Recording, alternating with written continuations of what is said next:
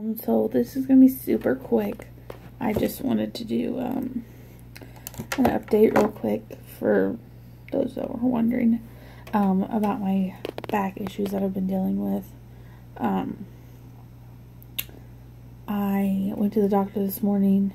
She is going to get the x-ray from my chiropractor and then probably have an MRI done.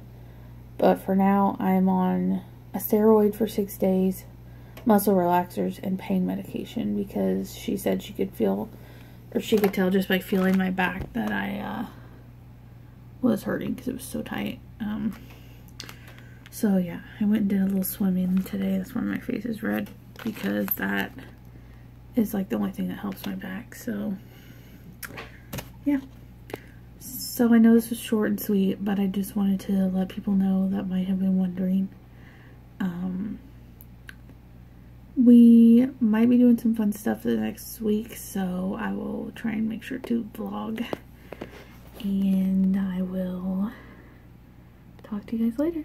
Bye.